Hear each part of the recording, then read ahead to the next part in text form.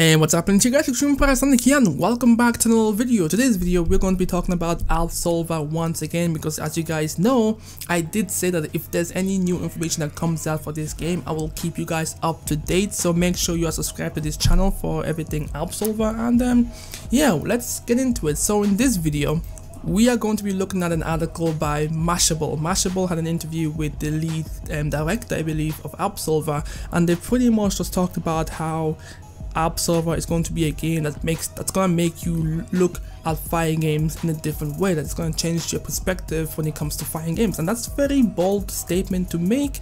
So I would suggest that we take that with a grain of salt for now until we actually get to play it ourselves. But for now, I'm going to be looking at some of the new information that came out from this um, article and if you want to read the entire article yourself, the link will be in the description below so go ahead, read it alongside this video or just read it in your own time basically, whatever works for you. So anyways, we're just going to be looking at some of the new information that came out of this article. So pretty much, first of all, they talked about how if you're not someone who likes to focus heavily on fighting, heavily on um, competitive stuff, the game is centered around you exploring the desolate land of pretty much Absolver and trying to figure out the lore, the history and the story behind it. So if you've played games like Journey, and um, Dark Souls, games like those, then this might tickle your fancy maybe. Like this is, could be something that you might be very interested in and um, game is obviously heavily centered on pretty much finding people, working together and exploring this world together. So um, yeah for me personally that's something i'm also looking forward to but you know as you guys know I, I, am really really focusing on the PvP aspect of things so that's where my attention is really focused on but but I'm not saying that I will not try out obviously exploring the world because that's how you're going to be getting all of the loots, all of the items and everything that you need to survive in Absol. So um, speaking of items, we have now I think our first confirmation that you are going to be able to trade items. So this was something that we kind of knew would be part of the game because what's the point of picking up all these items if you can't trade it?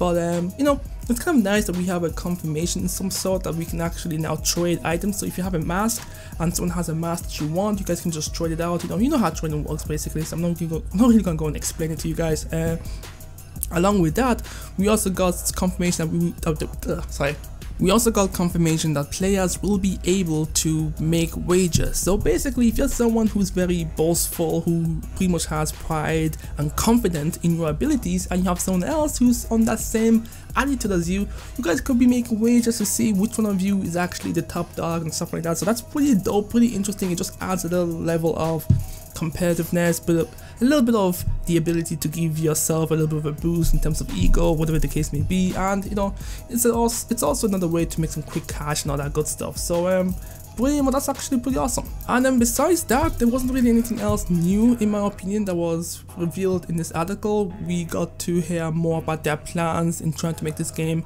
balanced.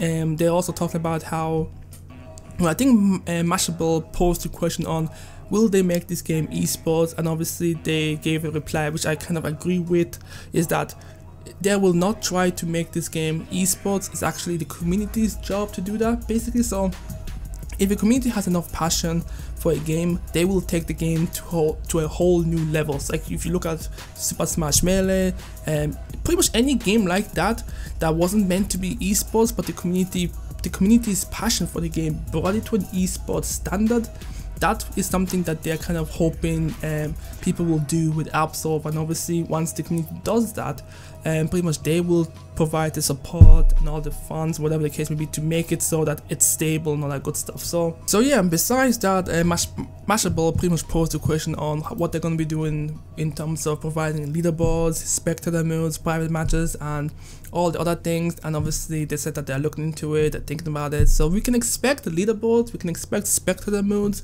and all that stuff possibly making into Absolver but I wouldn't really depend too much on it. So um, yeah that's pretty much it for Absolver's news.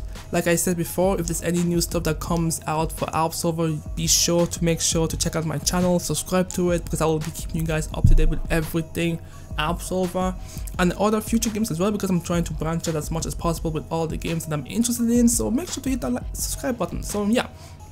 I'm XtremePyroSonic. Thanks much. Thank you so much for watching. Hope you enjoyed this video. Hope this video was informative, and make sure to hit that like button. Yeah. and I'll catch you guys next time. Peace.